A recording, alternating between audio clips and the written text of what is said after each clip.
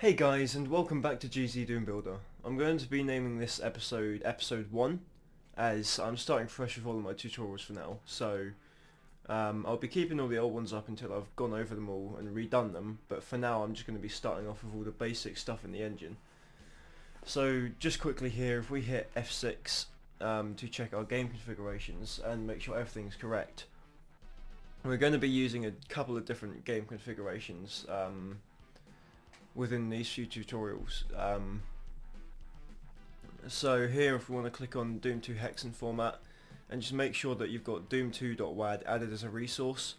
If not, click add resource, go to browse and browse through all your files to try and find ah, the um, IWAD that you want to use. Um, to mod with. Um, this contains all of the resources in it and um, you know you double click it and you just press OK. I don't need to because I've already got it here. But this has all the resources like textures and things, you know like NPCs, uh, weapons, ammo, all that kind of crap.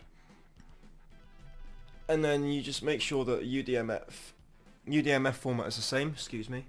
and then you just press OK.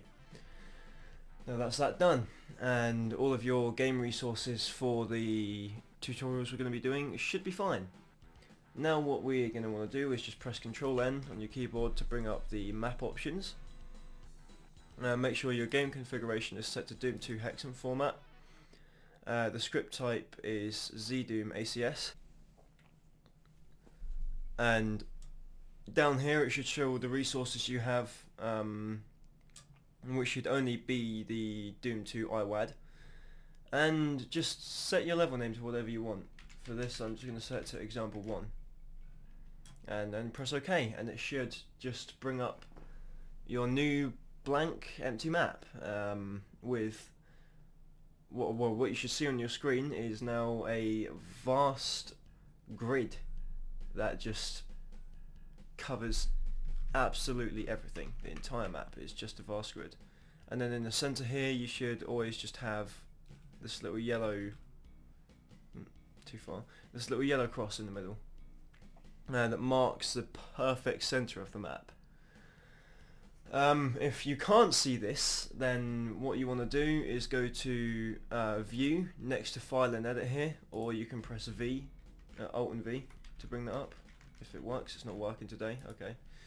Um, either way, um, when these have like a little underline beneath them, it just means that you can press the first letter of the word to bring it up. Anyway, what you want to then do is go here and just hit render grid. As you can see, this makes the grid vanish. Um, alternatively, you can just press Alt G, make the grid appear and disappear, and that will hopefully bring the grid up for you if you couldn't see it in the first place. Now you should be able to see it um, when you first start it up unless you've used this before and played around with it and accidentally turned it off. If you have, that's how you turn it back on. If it's a fresh install and you can't see it, then there's something wrong because by default you should just be able to see the grid. It's it's default, you know, it's what should be there. Anyway, by default, whenever you first start a new map in GZ Doom, it has the vertices tool selected um, already, um, which is what pastes those little dots in, which are like the corners and edges of a sector or a line. There, sorry, they're points within a line that can make up a sector. Um, now, in regards to sectors, you can use the vertices tool to um, create a sector. So if you right clicked, you can also just create a line so right click where you want the line to start, click where you want to end. To create a line, you would then, once you've done that, just right click and voila, you have a line. Um, now vertices would just add more points within this line. You can right click or you can press insert to do this and you can just drag them around and that's vertices. Um, and you can just highlight them all and delete them to delete them all. Uh, just pressing insert just puts in vertices there. That's what I was doing earlier. Oops. And um, now we'll move on to actual creations of sectors, which you can, again, also do with vertices. Not the reason we're here, mainly, but, well, sort of is. Anyway, if you press S, you'll then select the sector tool, which you can then right-click. You can create lines with this if you want. No, that's not what it's for, because now I can't delete the line unless I get the line tool out or the vertices tool out. Select it and press delete. Um, or you can press insert and it will let you just build it up like this and you can create a sector by just um, drawing it out and then reconnecting it up with the starting point.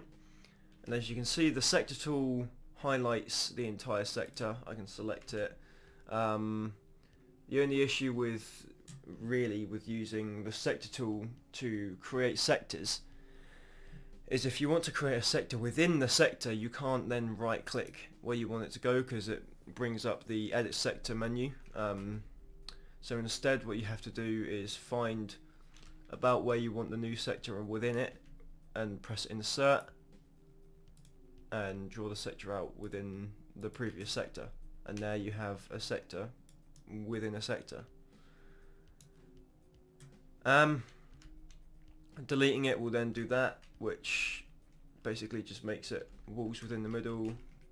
Whereas if I don't delete it it's just an adjustable sector within the first sector. Um, right. So now that we have our sector um, I'm going to create another sector just to the side of it I'm going to try and keep it the same length the exact same size just two same size squares with a corridor interconnecting the two of them. I'm actually gonna make this corridor oh, a little bit bigger by just grabbing the line tool here, right clicking the line and dragging this out. And that makes this corridor a bit bigger. And now, if I press T to bring up things, the things tool, I can right click here and just place down a player start. And now we're going to want to test our map. Um, now, chances are if you've just installed GZ Doom Builder, you've never used it before, or even if you have, and you've just never tested a map out, you won't have um, any you won't have GZ Doom set up with GZ Doom Builder or whatever Doom port you use in order to be able to test it. So what you'll want to do is go to tools. Can't believe I forgot and then game configurations. Now under here you want to go to testing. Um, and under engine just click new and then double click the engine you wish to use. It will name it consequently now I've got two of the same so I'll just delete that myself. But it should look like this and um, changing the skill level isn't majorly necessary then you just press OK and you have um, a testing environment set up so you can test your map. Now, with in regards to changing your difficulty in that area not mattering, if you want to test your map into different difficulty, you can always head up to here under test map, press the down arrow, and choose a difficulty. Now, the one with the living Cacodemon means that there will be enemies. The one with the dead Cacodemon means you'll test it without the enemies or any obstacles. It doesn't really matter. Whichever one you click, it will then immediately boot up into testing the map. Or you can alternatively just press F9 and it will boot up with your current settings. And here you can see we um, are in our two uh, three sectors in fact. Um, they're all here. Everything's ready in the world exactly how we made it. All the same textures everything's the same. Collisions are fine. You don't really have to worry about them in Doom Engine. But yeah. So now if we just quit the game we can move on to adding in a door, um, which is arguably the most fun part really. Um, so if we go here with the line tool, and you can do this with the vertices tool, um, well actually you probably couldn't because vertices tool you just add the vertices into the lines. But you can do this with the sector tool or the line tool. I myself personally prefer using the line tool because I make everything with the line tool. It's just how I make everything. and you draw it out like that so we'll go over that again um, you just draw the door out like this within the corridor it doesn't have to be the same size it can be 32 in width. Um, I normally make my doors that big or small even. And there you go that's your door. That's that constructed. Now what you want to do is left click on these two lines and then right click on them to bring up the edit line defs um, and edit both of them at the same time. You then want to head down to the trigger menu down here and select it and just set that to player presses use. And then up to the action menu here, you can either press this down arrow and scroll down, look for door generic somewhere, which is all the way, all the way down here in the 200s. It's under 202 here. Uh, here, door generic or you can click on browse action here expand the door menu and just double click on door generic or you can just go here if you know the action number and type in 202 and it sets it to door generic. And voila we have a door. And then you just press OK it's that easy. You have a door. Except um, what we want to do now is if we press Q to go into visual mode here um, you can see this is where the door is. Um, there is not actually a, not actually a door there. It's just an empty space with you know the separated sectors of where we've made the door. We want to select these two walls here and right click them and set them both to lower unpegged. And now we just want to head to this middle texture here in the top texture section. Select it, go to doors and just set that to door track. This then means that, you know, it's what the door slides up and down. And now with my doors, they do this in the in classic Doom levels with their doors. If you select the ceiling and right click it and select the set the ceiling texture to if you go to base and scroll down and look for flat 20 alternatively you can go to filter and just search it up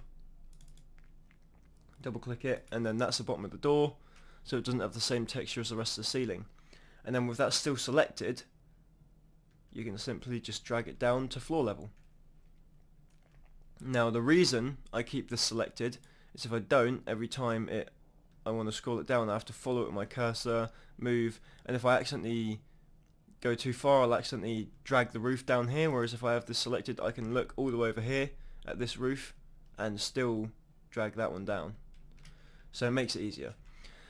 Now we can see here that the textures for the door are missing. Um, if we ran this, it looks like that.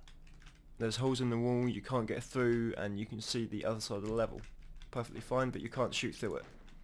It's just an invisible obstacle, an invisible wall. Um, so what we want to do here is in visual mode, just select this wall here, or not even, just right click it, select upper, and I like to use Big Door 2 myself, but you can go to doors and choose any of the door textures here as long as it fits. For example, if I use this, it doesn't fit, so it uses two of the doors, or it doesn't look too bad. There are worse, there are better examples I can use, like exit door here. it looks terrible because um, it's not the right size. So I'm going to use Big Door 2 it fits perfectly for the size we've chosen and then while still looking at this texture I'm just going to press Ctrl C head to the other side and press in my middle mouse button to paste the texture and um, one last thing I want to mention is these um, little hmm, there we go these little parts that point out from the line here are very important when making a door. If they're facing outwards, then they're facing towards the player, which means the player can activate it, whereas if they're facing inwards, they're facing away from the player, which means the player can't activate it. I'll give an example. If I hit F9 here, I can just quickly test my door. It works, it opens, and see how these textures stay still and they don't slide up. That's because we set them to lower unpegged. Door then closes again.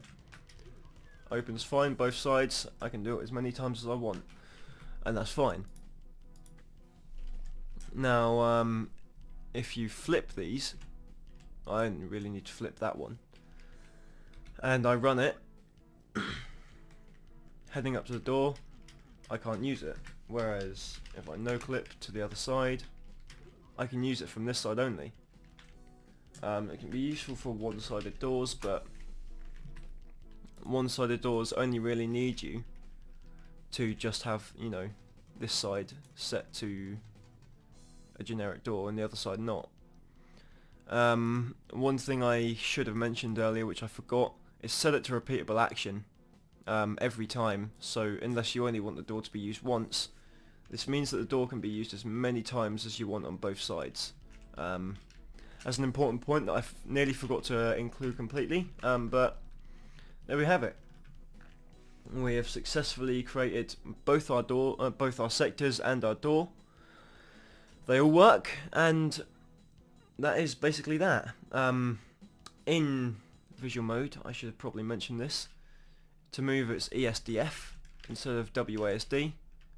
As you see, W and A do different things. That's A. I have actually no clue what that does. Oh, it lines up your textures. The more you know. Uh, w, I don't know what that does. Um, that's the arrow keys that I'm doing there. To like adjust the textures manually. If I do that and press A, it adjusts the textures to the changes I've made. But only does it for left and right and not up and down. Okay. So I've learnt something in, in the tutorial today. um, and also if you have multiple selections or just any selections pressing C in both visual mode and non-visual mode clears your selections and again if you want to save this for later just control S and save and there you go you can refer to this later and just check everything out I hope you guys found this video useful I hope it was less over the place than my old videos and more understandable and more structured and I hope my mic still sounds as good as my previous video. Um, I'll see you guys in the next video. Peace out.